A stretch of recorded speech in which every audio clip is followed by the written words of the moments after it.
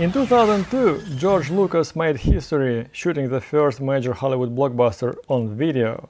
Right now, we can shoot on high def, and 50 minutes after we shoot a 50 minute cassette, it's inside the computer. It is less known that 30 years earlier, the Hollywood was already making feature movies using 24p HD. In 1971, Image Transform Incorporated was formed in the North Hollywood, California to electronically produce motion picture film from videotape recordings. According to John Lowry, then president of Image Transform, the company had been successfully converting videotapes to professional quality motion picture film on a day-to-day -day basis. Lowry claimed that for the first time, electronically originated film prints were directly comparable to prints from original motion picture film, and that film cameramen and assistants could make the switch to electronic equipment with no problem. In 1972, Image Transform filed for Image 655 trademark, which would identify a particular way of recording motion picture film from videotape. 655 reflected the number of lines that Image Transform was using for its videos. It came from an astute assessment of existing video production and transmission capabilities. Image Transform figured that by reducing image rate of conventional NTSC television from 30 interlaced frames per second, each frame having 525 lines, to 24 frames per second, they could fit as many as 655 lines into each frame, using the same bandwidth. Incidentally, 625-line video at 25 interlaced frames per second used the same bandwidth, which afforded program exchange between different television systems and countries.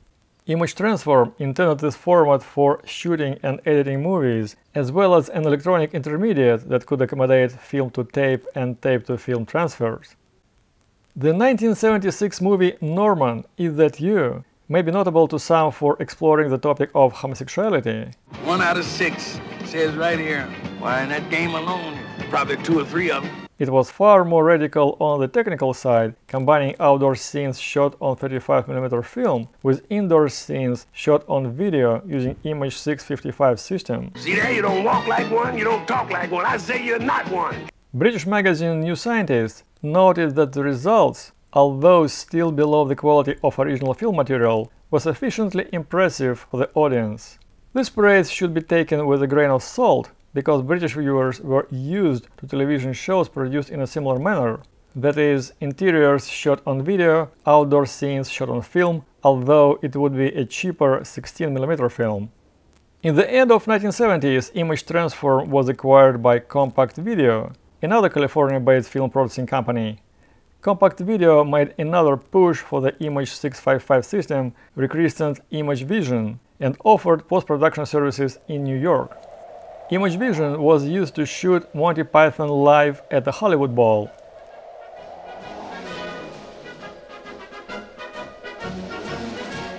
The project began to take shape when the Pythons booked a concert date for late summer 1980.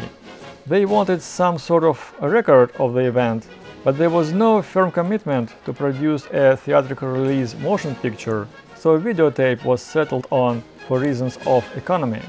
At the same time, no one wanted to eliminate any options either. Thus, Image Vision came as a natural choice to shoot the concert. Mr. Milton? Uh, yes? You are sole proprietor and owner of the Whizzo Chocolate Company? I am.